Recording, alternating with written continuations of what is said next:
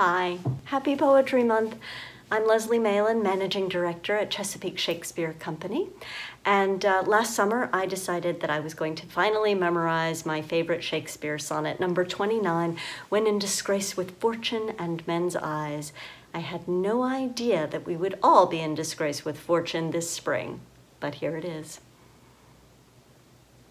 When in disgrace with fortune and men's eyes, I all alone beweep my outcast state, and trouble deaf heaven with my bootless cries, and look upon myself and curse my fate, wishing me like to one more rich in hope, featured like him, like him, with friends possessed, desiring this man's art and that man's scope, with what I most enjoy contented least.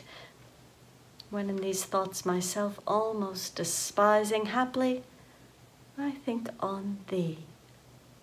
And then my state, like to the lark at break of day arising from sullen earth, sings hymns at heaven's gate.